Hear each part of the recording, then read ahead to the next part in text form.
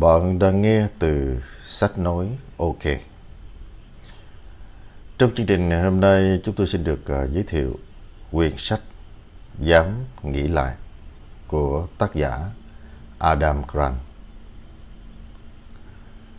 Trong thời đại mà những quan niệm cũ kỹ và bảo thủ thường làm trì trệ sự phát triển, quyển sách Dám nghĩ lại Think Again của Adam Grant xuất hiện như một luồng gió mới khuyến khích chúng ta mở rộng tư duy và đón nhận sự thay đổi. Grant, một nhà tâm lý học tổ chức và giáo sư của Đại học Wharton, đã mang đến cho độc giả những bài học quý báu về tầm quan trọng của việc suy nghĩ lại và làm mới quan điểm.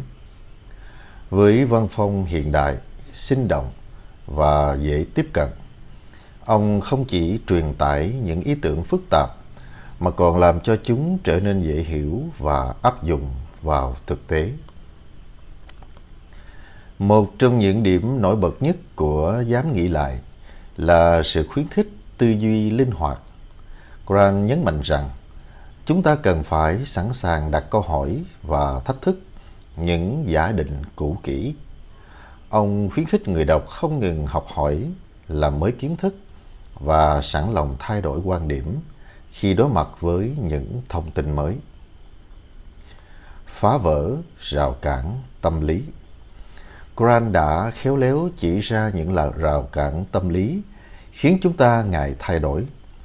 Ông phân tích cách mà sự tự tin quá mức, sự e ngại thất bại và nỗi sợ bị đánh giá đã ngăn cản chúng ta từ bỏ những quan điểm sai lầm.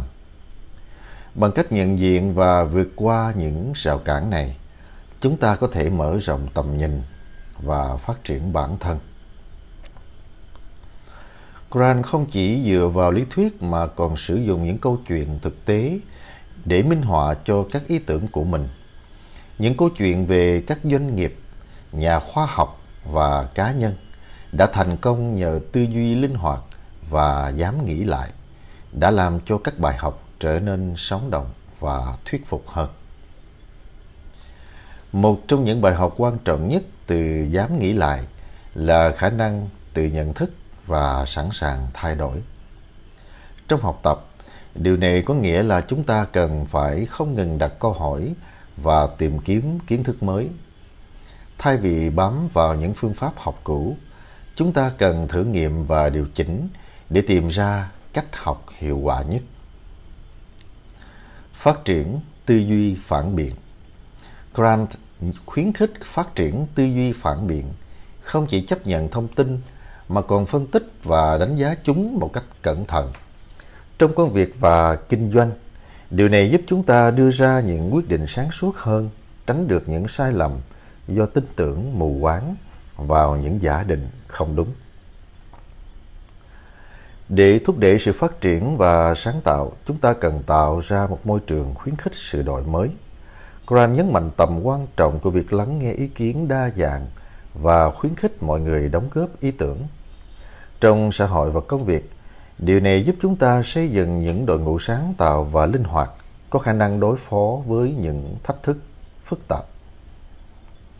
Học cách chấp nhận và học từ thất bại.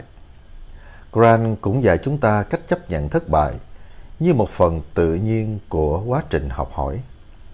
Thay vì sợ hãi và né tránh thất bại, chúng ta cần học cách nhìn nhận nó như một cơ hội để học hỏi và cải thiện. Trong cuộc sống và công việc, điều này giúp chúng ta phát triển khả năng chịu đựng và sự kiên trì, hai yếu tố quan trọng để đạt được thành công lâu dài. Việc dám nghĩ lại giúp chúng ta trở nên linh hoạt và sẵn sàng học hỏi bằng cách không ngừng đánh giá lại những quan điểm và kiến thức của mình. Chúng ta có thể phát triển bản thân và đạt được những mục tiêu cá nhân một cách hiệu quả hơn. Trong học tập, việc suy nghĩ lại và làm mới phương pháp học tập giúp chúng ta tối ưu hóa quá trình học hỏi.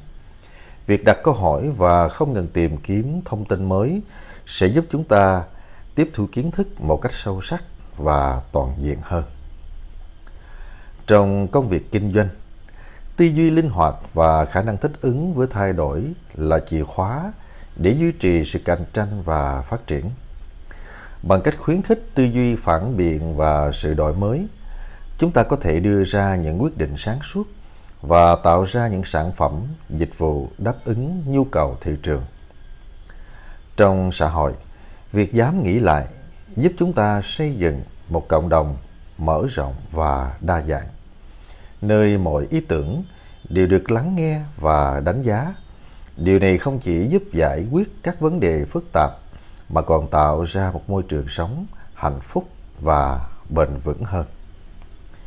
Dám nghĩ lại của Adam Grant là một quyển sách đầy cảm hứng và sâu sắc, khuyến khích chúng ta mở rộng tư duy và đón nhận sự thay đổi.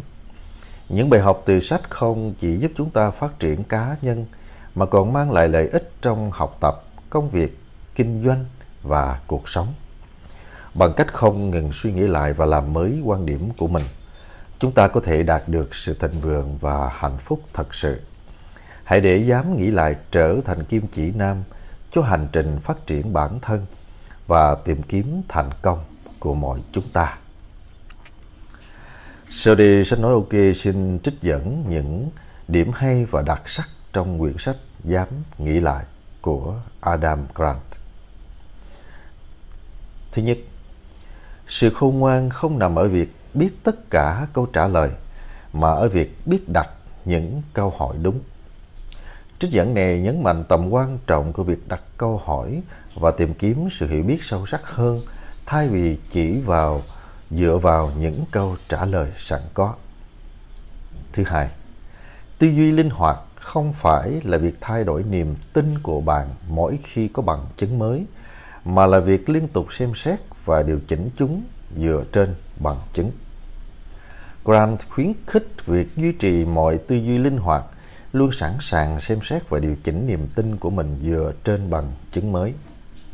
3. Đôi khi chúng ta cần phải từ bỏ những ý tưởng cũ để mở đường cho những ý tưởng mới và tốt hơn. Trích dẫn này nhấn mạnh tầm quan trọng của việc từ bỏ những ý tưởng cũ và mở lòng đón nhận những ý tưởng mới để tiến bộ và phát triển. 4. Thất bại không phải là điểm kết thúc mà là bước đệm để học hỏi và trưởng thành. Grant khuyến khích chúng ta xem thất bại như một phần của quá trình học hỏi và phát triển không phải là một điểm kết thúc. 5. Tư duy phản biện không chỉ là việc tìm kiếm lỗi sai của người khác, mà còn là việc kiểm tra và thách thức chính những niềm tin của bản thân. Trích dẫn này nhấn mạnh rằng tư duy phản biện phải bao gồm việc tự kiểm tra và thách thức những niềm tin của chính mình, không chỉ tập trung vào những lỗi sai của người khác. 6. Khi chúng ta ngừng sợ hãi việc bị sai, chúng ta mới thật sự bắt đầu học hỏi. Grant chỉ ra rằng nỗi sợ sai có thể cản trở quá trình học hỏi và phát triển. Chỉ khi chúng ta chấp nhận rủi ro và sai lầm, chúng ta có thể học hỏi thật sự. 7. Sự tự tin không đến từ việc luôn luôn đúng mà từ việc sẵn sàng thừa nhận khi mình sai và học hỏi từ đó. Trích dẫn này định nghĩa lại sự tự tin cho rằng nó không phải đến từ việc luôn đúng mà từ khả năng thừa nhận sai lầm và học hỏi từ chúng. 8. Chúng ta thường bị mắc kẹt trong những khuôn mẫu suy nghĩ cũ và chỉ khi dám nghĩ lại, chúng ta mới có thể tìm ra những giải pháp sáng tạo và hiệu quả hơn. Grant khuyến khích mọi việc suy nghĩ lại những khuôn mẫu cũ để tìm ra những giải pháp sáng tạo và hiệu quả hơn. 9. Để thực sự đổi mới, chúng ta cần phải thử nghiệm và chấp nhận rủi ro vì chỉ khi đó chúng ta mới có thể phát hiện ra những ý tưởng đột phá. Trích dẫn này nhấn mạnh tầm quan trọng của việc thử nghiệm và chấp nhận rủi ro để đạt được sự đổi mới với những ý tưởng đột phá. 10. Tư duy đổi mới là khả năng nhìn thấy thế giới từ nhiều góc độ khác nhau và sẵn sàng thay đổi quan điểm khi có bằng chứng mới. Grant khẳng định rằng tư duy đổi mới đòi hỏi khả năng nhìn nhận thế giới từ nhiều góc độ khác nhau và sẵn sàng thay đổi quan điểm khi có bằng chứng mới. Những trích dẫn này từ dám nghĩ lại của Adam Grant không chỉ khuyến khích sự linh hoạt trong tư duy mà còn thúc đẩy việc chấp nhận sai lầm, thách thức những niềm tin cố hữu và không ngừng học hỏi. Chúng truyền cảm hứng và cung cấp những hướng dẫn quý giá cho việc phát triển cá nhân, đổi mới trong công việc và cuộc sống.